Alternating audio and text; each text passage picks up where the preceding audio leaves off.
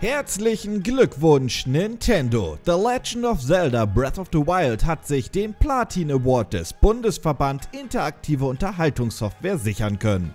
Diesen gibt es, sobald sich ein Spiel über 200.000 Mal in Deutschland verkauft hat. Gezählt wurden dabei die Wii U und Switch-Version zusammen.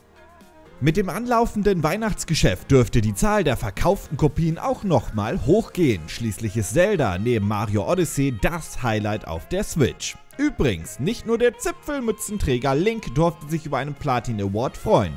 Auch Microsofts Rennspiel Forza Horizon 3 hat die 200.000 verkauften Exemplare überschritten.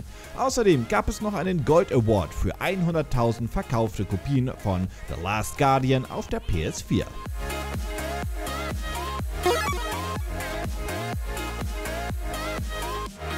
Leider müssen wir relativ oft erwähnen, dass dieser oder jener Titel nicht auf der Nintendo Switch erscheint. Da ist es doch mal schön, etwas gegen den vermeintlichen Trend zu schwimmen.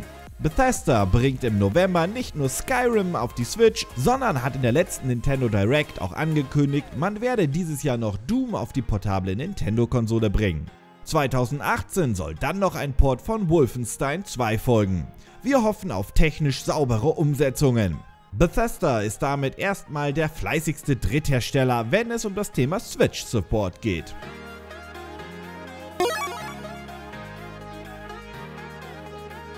Mit Origin Access und EA Access hat Electronic Arts ja bereits eine Art Netflix für Videospiele light im Petto. Ein solches Angebot soll mehr und mehr an Bedeutung gewinnen. Dies ist zumindest die Aussage von Chris Venton, Vice President für Investorenkontakte bei Electronic Arts. Laut seiner Aussage sei es auf Dauer unvermeidbar, dass die Gaming-Branche denselben Weg geht wie die Musik- und Filmbranche.